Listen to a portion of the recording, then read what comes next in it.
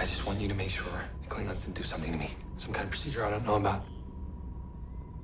Well, of course, you know, anything is possible. But you were exposed to a full set of physical scans when you came on board.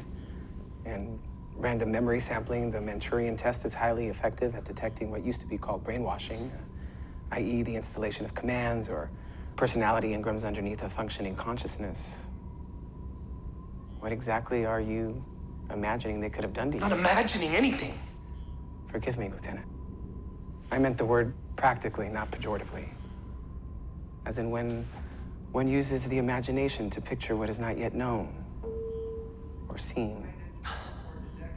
Are you suffering from mood swings, fugue states, lost time? If any of that is the case, I'll have to ground you. I just want to make sure I'm shipshape before this mission. The people on this ship, they saved my life. I won't let them down. Well, let me run a deeper set of scans. What you probably need most right now is rest. And some time off of this ship. Much chance of that, Doc. Stay out of the palace! I'll just be a minute.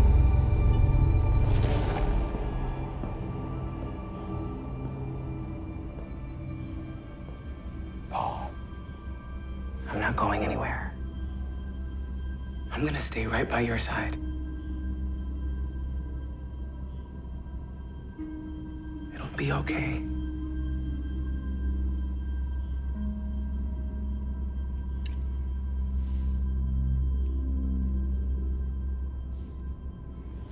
Be careful.